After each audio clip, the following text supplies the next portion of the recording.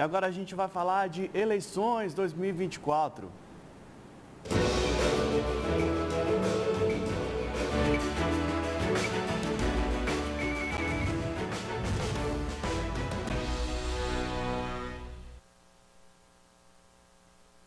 Equatorial Piauí anunciou que vai reforçar o atendimento no próximo domingo, dia 6 de outubro, quando ocorre o primeiro turno das eleições municipais. O objetivo é assegurar o fornecimento de energia elétrica e garantir que não ocorram intercorrências durante o processo eleitoral. O plano operacional das eleições municipais de 2024 da Equatorial vai contar com o reforço de 217 equipes e 600 técnicos de plantão.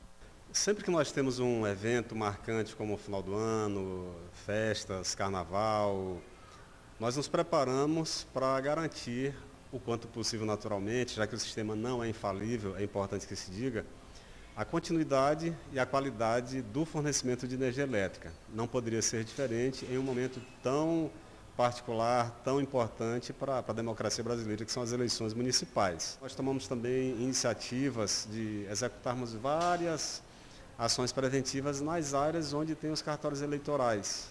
Então, a ideia é, onde porventura tenham havido ocorrências recentemente, nós fizéssemos ali uma blindagem, uma, um, um, tratamento ali em termos de, de manutenção preventiva para evitar novas ocorrências no período das eleições. No próximo domingo, dia 6 de outubro, os eleitores vão comparecer às urnas para a escolha de prefeitos e vereadores.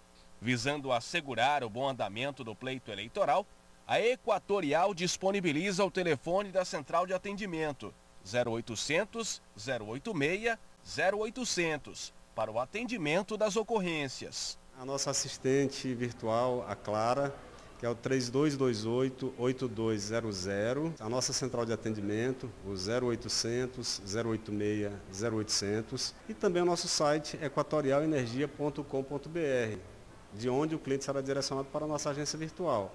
Então, qualquer um desses três canais podem ser acionados e nós trataremos de encaminhar a solicitação.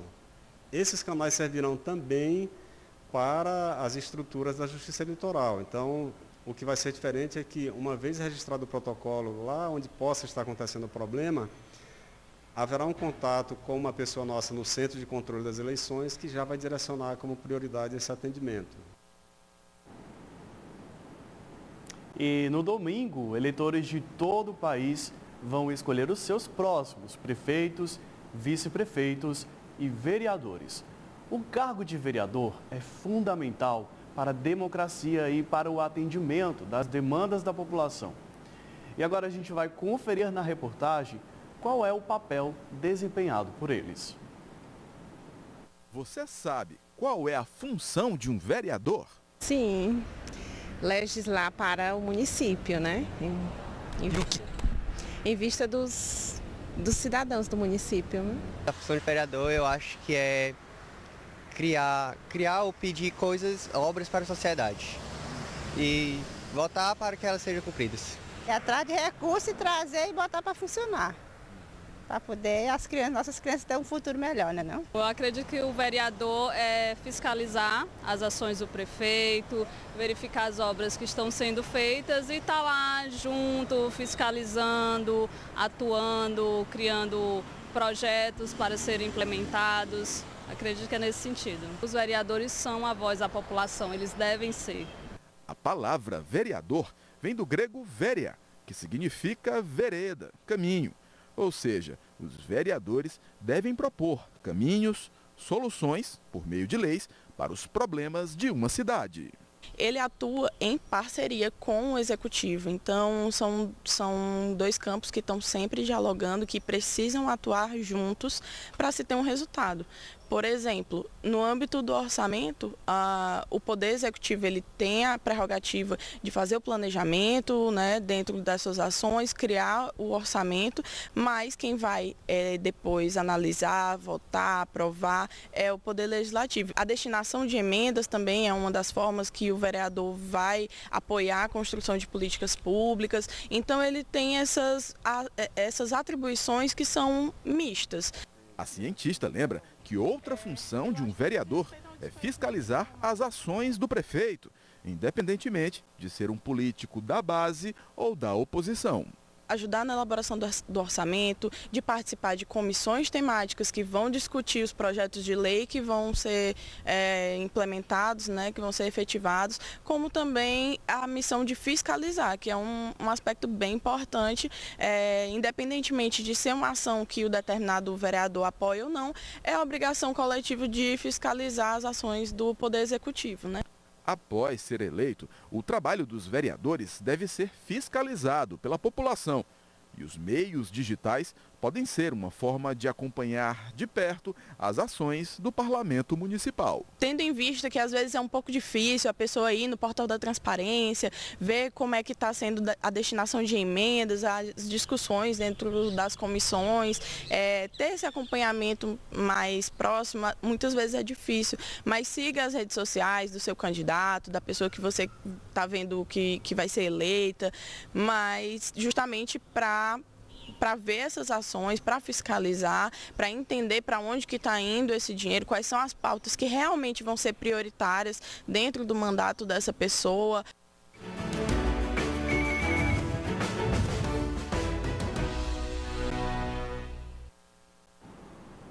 Olha, a gente vai continuar falando de eleições, porque a Polícia Militar do Piauí realizará a partir das 7 horas de amanhã no pátio interno do quartel do Comando Geral o envio das tropas que reforçarão as eleições municipais de 2024 aqui na capital e no interior do estado. A gente vai saber mais detalhes de como é que vai ser o envio dessas tropas com o nosso repórter Felipe Leal. Boa tarde, Felipe. Boa tarde, André. Boa tarde à nossa audiência. Olha só, André, no próximo domingo os eleitores vão comparecer às urnas eletrônicas de votação para a escolha de prefeitos e vereadores em todo o país. E a Polícia Militar do Estado do Piauí realizou uma reunião na manhã de hoje no quartel do Comando Geral para traçar estratégias que visam o policiamento nos municípios piauienses, garantir a ordem durante o processo eleitoral.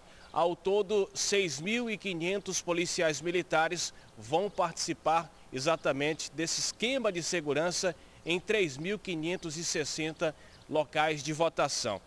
Essa reunião foi realizada na manhã de hoje, no quartel do Comando Geral da Polícia Militar do Estado do Piauí, onde o comandante Cheivan Lopes, coronel Cheivan Lopes, comandante-geral da PM, falou exatamente sobre o esquema de segurança, como é que vai funcionar essa estratégia de segurança nos municípios piauienses, onde o objetivo é exatamente estar garantindo a tranquilidade do processo do pleito eleitoral. Então, é importante que as pessoas possam exatamente estar exercendo o seu direito dentro da mais perfeita normalidade, tranquilidade, para que não haja nenhuma intercorrência ao longo da votação. A gente lembra a nossa audiência, a nosso telespectador, que no próximo domingo, né, a votação tem início às 8 da manhã e se estende até às 17 horas. E um esquema aí de segurança foi montado exatamente para estar tá garantindo a tranquilidade nos 224 municípios piauienses. São cerca de 6.500 policiais militares que vão garantir essa segurança em 3.560 locais de votação.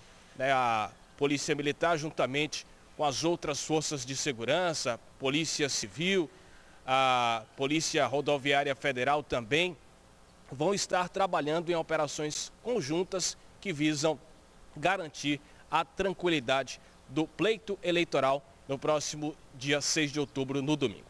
É isso, André, são essas as informações.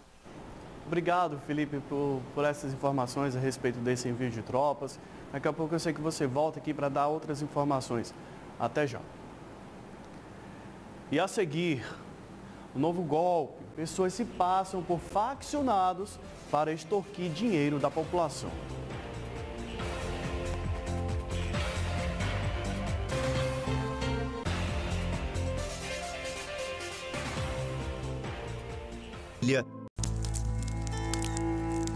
Durante o período mais seco, uma fogueira pode causar um grande incêndio. por onde o fogo passa deixa o rastro de destruição. Ao perceber um foco de incêndio, disque 193. Não brinque com fogo, seja um cidadão consciente. Uma campanha TV Assembleia. Uma TV feita para você. Informação com qualidade da forma instantânea. TV Alep Play, uma nova plataforma muito mais intuitiva para você se informar onde estiver. Você vai assistir a TV Assembleia ao vivo, além de todo o conteúdo produzido pela TV do Legislativo Piauiense. Sessões plenárias, comissões, telejornais, programas e reportagens para você estar sempre atualizado. Acesse www.al.pi.leg.br barra TV e aproveite todas as comodidades do TV Alep Play. TV Assembleia, uma TV feita para você.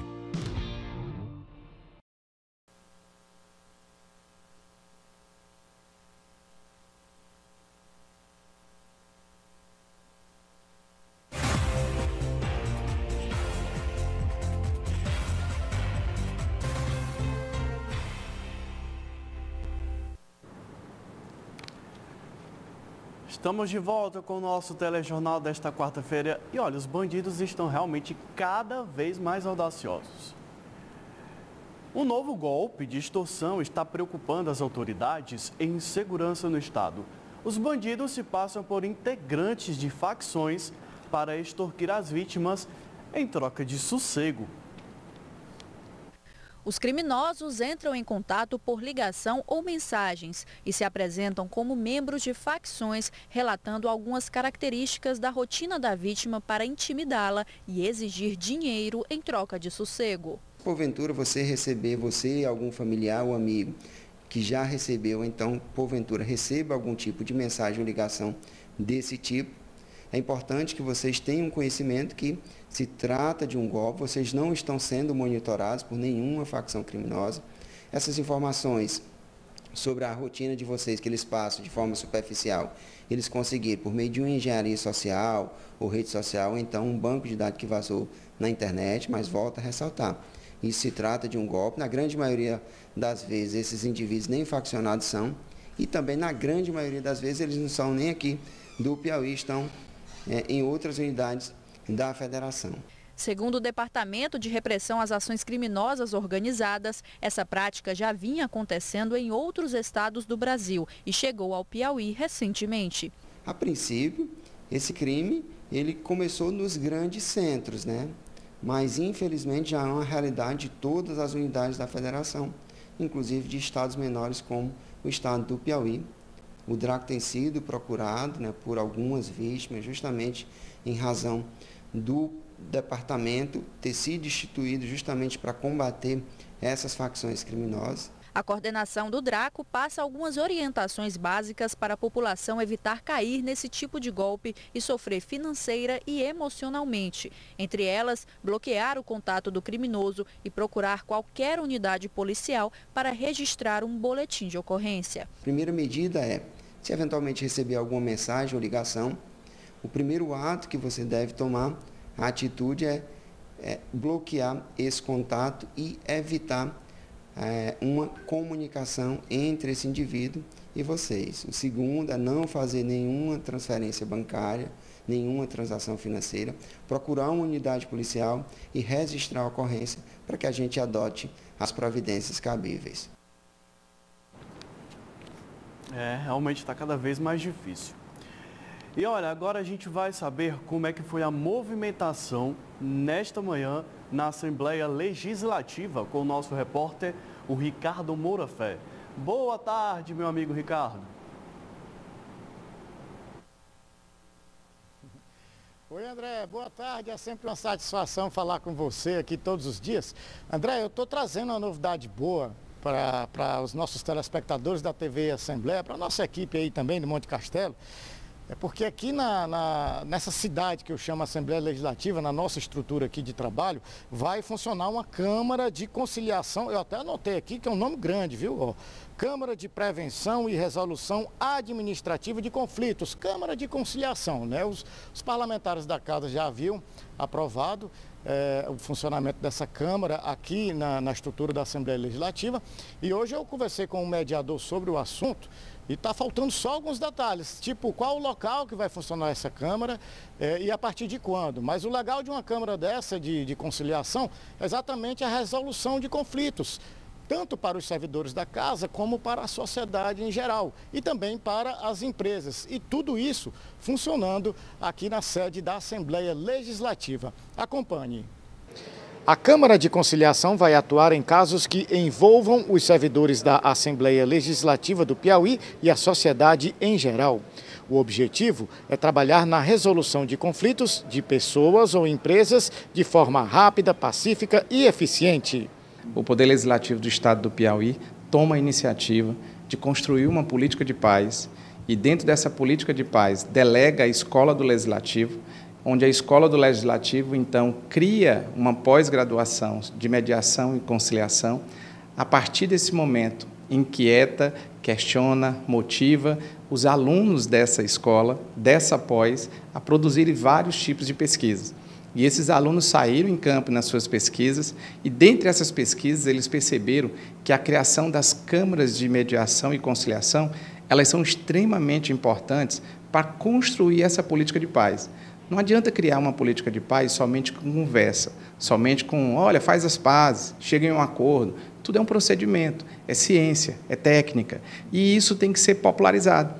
E foi exatamente isso que o Poder Legislativo, delegando a Escola do Legislativo, na pessoa do presidente da escola, o professor Lima, e da professora Judete, simplesmente iniciam esse projeto, um projeto que a Câmara, primeiramente, uma vez criada, ela vai solucionar os conflitos que venham da própria, do próprio Poder Legislativo. Então, os próprios conflitos internos podem ser resolvidos pela Câmara. E os conflitos de forma coletiva também podem ser é, auxiliados exatamente pela Câmara. O que se discute agora é quando e onde a Câmara de Conciliação vai funcionar. A Câmara ela vai ter um espaço físico. A Câmara vai ter, na verdade, uma comunicação. A, a sociedade teresinense, piauiense, ela vai ter acesso a, uma vez tendo os conflitos, elas podem procurar aqui essa Câmara, ela pode externar os seus conflitos, sejam conflitos principalmente no campo familiar, no primeiro momento, os conflitos intracorpores, quer dizer, os conflitos da própria Assembleia, no segundo momento da própria comunidade.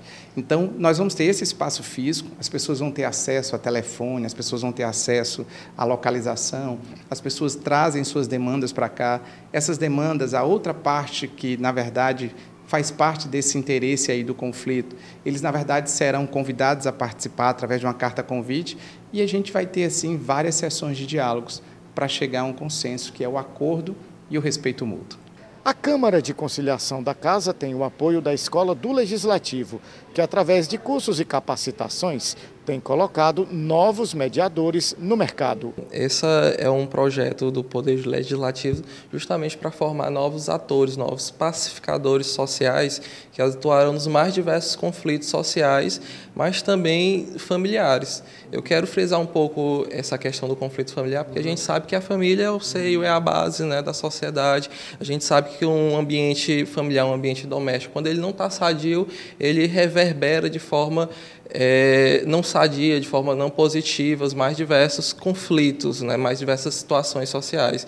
E esses novos agentes, esses novos alunos que estão sendo formados, eles são justamente para atuar na sociedade, na família e na comunidade, fazendo não só não atuando de forma pacífica, esperando o conflito chegar até eles, mas também de forma ativa, buscando, visitando, conversando, interagindo com todas as pessoas dos mais diversos órgãos públicos, para identificar, mapear, identificar e solucionar essas, essa problemática.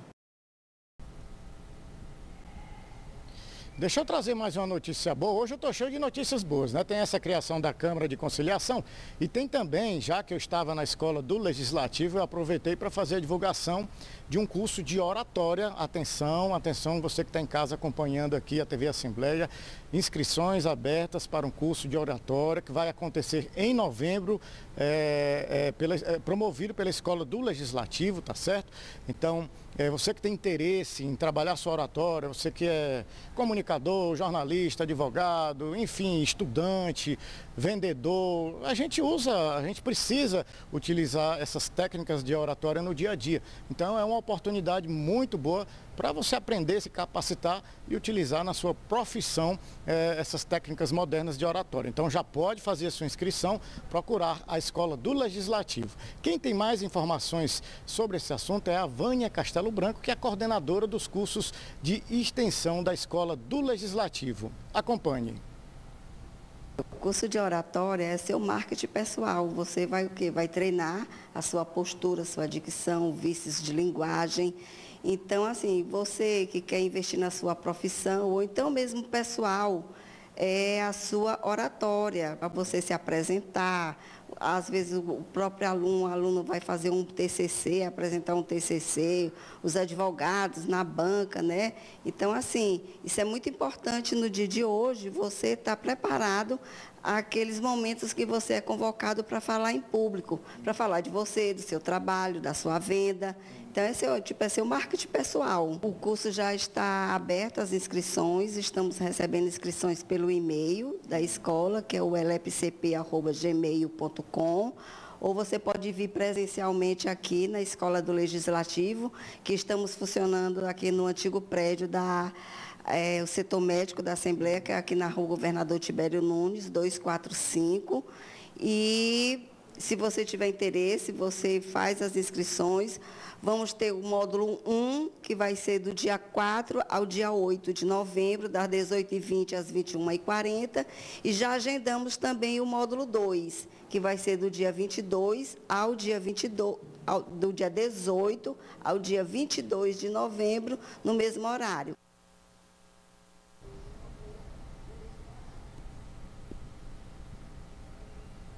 Tá aí, tá aí duas informações importantes e essa aí do curso de oratória re, re, repassando novamente essa informação.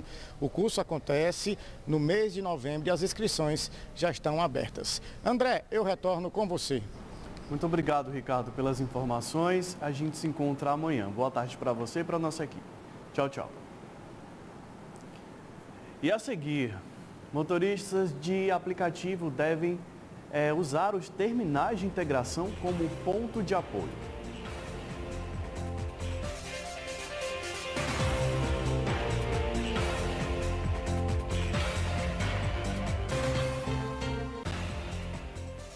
Uma das grandes tarefas da Assembleia Legislativa do Piauí é criar e aprovar leis que beneficiem todos os piauienses. E uma população em especial precisa de mais atenção as pessoas com deficiência precisam de respeito, inclusão e mais políticas públicas em apoio às suas necessidades. Como a Lei 8.155, que garante para alunos da rede pública estadual com deficiência físico-motora matrícula na escola mais próxima da sua residência. Essa Lei 8155 trouxe a melhoria da gente ter os nossos filhos estudando próximo das nossas residências, né? E garantindo a sua vaga nas escolas. A Alep tem ajudado pessoas com deficiência a serem reconhecidas como cidadãs de fato e de direito. E se tornarem protagonistas, como nesse filme, Alep e você. Inclusão aqui é lei.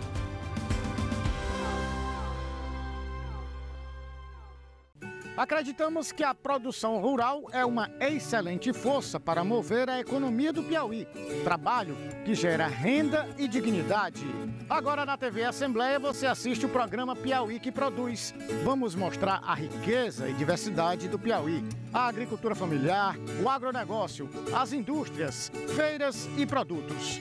Com entrevistas exclusivas, matérias especiais, histórias inspiradoras. Eu te espero no Piauí que Produz na TV Assembleia. Venha descobrir o que faz do Piauí um estado tão especial. Se liga na TV, feita para você.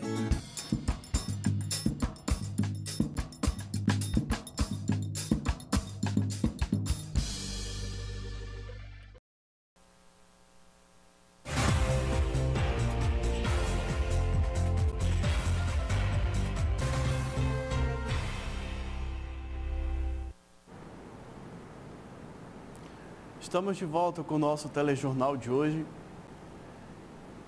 E olha, um decreto muito interessante visa o uso dos terminais de integração pelos motoristas de aplicativo. A gente vai saber como vai funcionar isso com a repórter Maria Vitória Anselmo.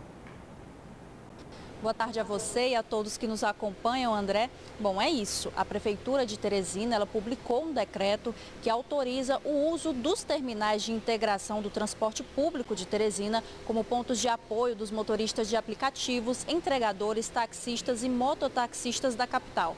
Para isso, os profissionais eles devem seguir uma série de orientações. Eles estão autorizados de forma experimental, é bom que deixe bem claro, de forma experimental o uso dos terminais, tá?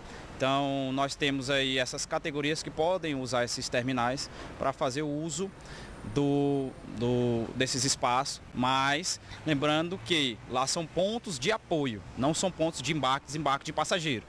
Então, eles estão liberados a partir de ontem o decreto. Nós estamos aqui na S-Trans elaborando, junto com a Prodaté, um aplicativo para o cadastramento desses, dessas, dessas pessoas que vão utilizar os terminais para a gente ter uma fiscalização maior e, pra, e também é, autorizar que eles possam usar esses terminais com maior frequência.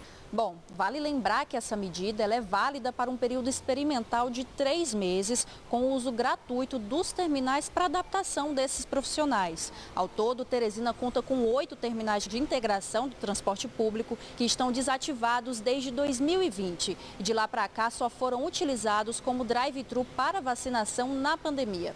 Com a medida, eles voltam então a ter utilidade para os motoristas de aplicativo, entregadores, taxistas e mototaxistas que vão poder utilizar o local como ponto de apoio. Voltamos com você, André. Muito obrigado, Maria Vitória, pelas informações. É isso, né? A gente tem vários aparelhos públicos como esse, de grande proporção e abandonados pelo poder público. A gente espera que isso possa realmente fazer valer a pena todo o gasto público. E a seguir, Teresina ganha uma escolinha da NBA.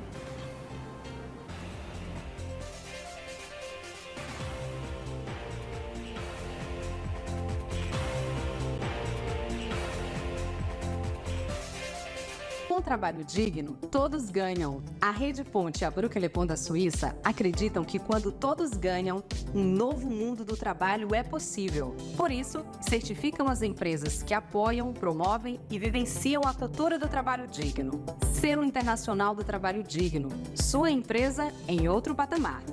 Inscreva sua empresa agora mesmo acessando selodotrabalhodigno.org. Com trabalho digno, todos ganham.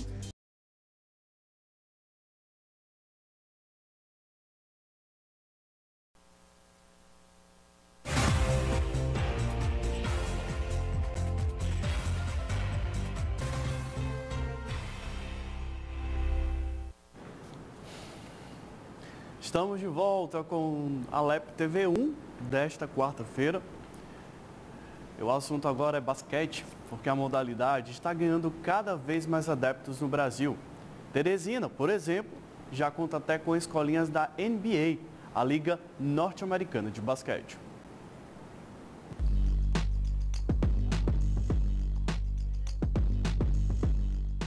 Fundamentos básicos do basquete sendo ensinados desde a infância. Este é o objetivo do NBA Basketball School, um programa licenciado pela Liga Norte-Americana e que visa inspirar e desenvolver novos atletas para a modalidade. Nesta escola particular, as aulas estão sendo conduzidas pelo experiente técnico Carlinhos Cavalcante. A nossa escola aqui é a precursora, né? Acho que foi a primeira unidade aqui, né?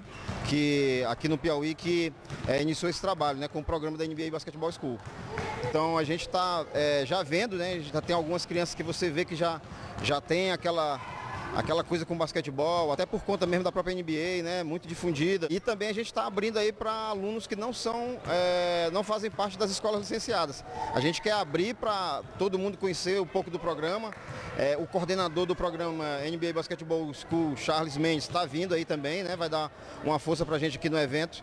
E é isso aí, é o que a gente está tentando fazer, é justamente o que você falou aqui, é de dar a oportunidade do, da criança desde o início, né, seus 7, 8 anos, já começar a prática do basquetebol. O NBA Basketball School está presente em mais de 40 cidades em 16 estados. Só na capital, três escolas aderiram ao programa. E por aqui, a criançada aprovou as aulas e tem se encantado cada vez mais pelo basquete. Por causa da minha altura e também porque, sempre me chamou a atenção. E o que, é que você tem aprendido aqui nas aulas na, na NBA Basket School? Aprendi a driblar, aprendi a fazer cesta, aprendi várias coisas. Aprendi a comandar com a bola. Eu via vários jogos de basquete, eu sentava na CV, eu sentava no sofá, assistia, via várias cestas de longe, eu me impressionei e comecei a gostar. Aí eu entrei no basquete e comecei a jogar. Que fundamentos você já domina? Eu sou muito bom de cesta de longe, drible, isso. E no próximo dia 26, as três escolas aqui da capital, mais uma de São Luís, que também aderiu ao programa da NBA, vão realizar um dia de troca de experiências entre os novos atletas. Vai servir para a gente interagir, para a gente trocar experiências, né, para os meninos é, poderem socializar também, é, ter um contato com as crianças de outro estado também. E o que a gente espera aí é que futuramente a gente possa sim é, chegar a ter uma competição específica né, é, na NBA Basketball School aqui para o nível de Nordeste. Mas por enquanto a gente vai fazer uma espécie de um, de um, de um camp, né, de um acampamento. É, das 8, vai ser das 8 às 17 horas do dia 26. E a gente vai está colocando tudo é, é, é, de habilidade, de controle de bola, de fundamento, né? Como faz para se inscrever e tem mais informações? Olha, a gente está divulgando na, nas redes né, das escolas é, licenciadas, é, na, na, na, Federação de Basquete, no Piauí 3x3, na rede tem um link e basta é, você entrar no link que você já pode é, fazer sua inscrição, sem a obrigatoriedade, digamos assim, de ser um aluno de uma unidade licenciada.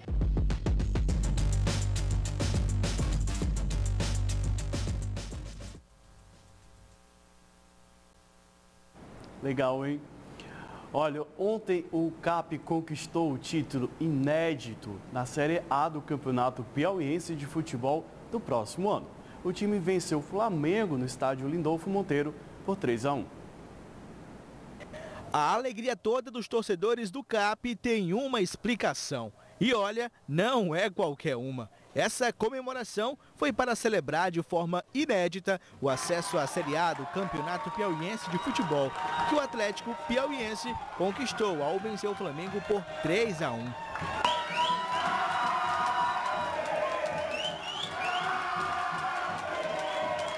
Com a postura totalmente diferente daquilo que a gente tinha apresentado no último sábado, é, nós conseguimos vencer o jogo, com dificuldades também, porque o, o Flamengo conseguiu empatar o jogo, imprimiu um sistema defensivo forte, mas pelo que nós tínhamos feito na, na primeira etapa e pelo que nós continuamos fazendo no segundo tempo, nós sabíamos que em algum momento o gol ia sair e nós iríamos estar comemorando essa, essa classificação para a final e automaticamente o acesso.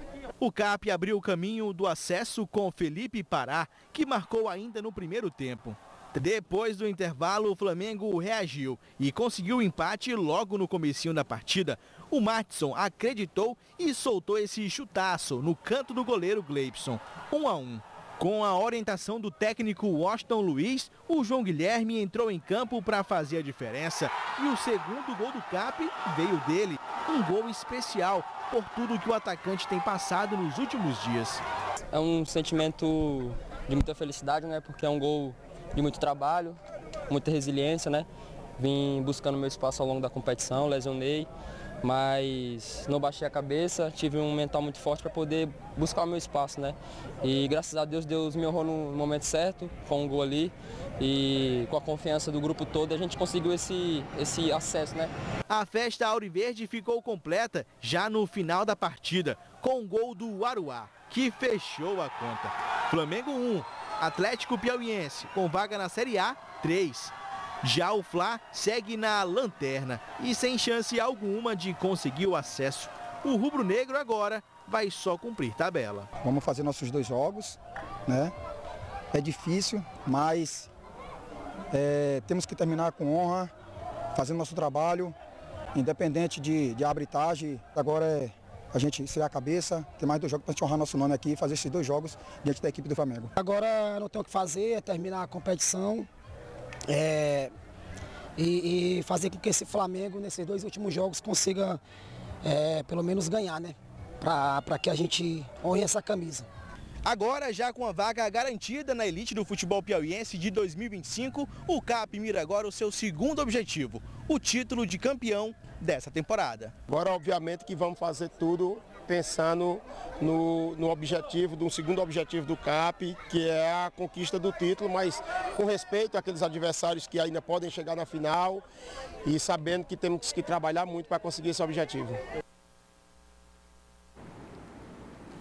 E você pode acompanhar essa e outras reportagens através do nosso canal no YouTube, Legislativo PI.